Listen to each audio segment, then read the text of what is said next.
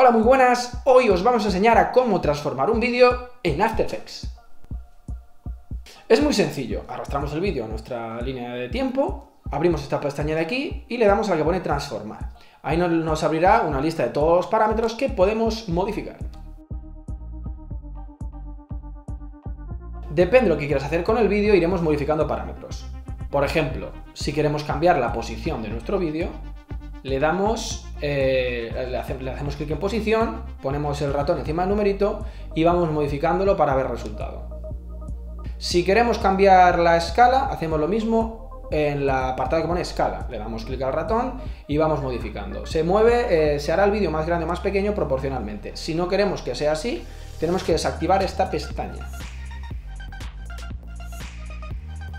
será el vídeo pues, más pequeñito para así o más flaquito para acá, para allá. También podemos cambiar la rotación.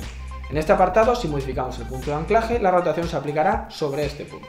Por último tenemos la opacidad, que es para cambiar la transparencia del vídeo. Otra manera, de, otra manera de transformar un vídeo es con la herramienta de selección. Con el vídeo seleccionado y haciendo clic sobre él, modificamos la posición. ¡Yes! Para modificar la escala tenemos que hacer clic en estos cuadrados de aquí y moviendo el ratón vemos cómo el vídeo cambia. Si queremos hacer eh, el vídeo más grande o más pequeño a proporción, apretamos la tecla Mayus y eh, se hace más grande y más pequeño.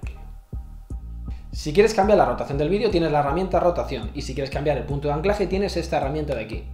Y hasta aquí el vídeo de hoy. Si tienes cualquier duda, ponla en los comentarios, que seguro que dudas tendrás. Suscríbete aquí y mira otro de nuestros vídeos de nuestra lista de reproducción aquí.